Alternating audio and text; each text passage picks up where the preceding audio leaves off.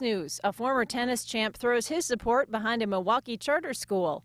Andre Agassi and Canyon Capital Realty Advisors are developing a property on Milwaukee's north side where a new school will open in August.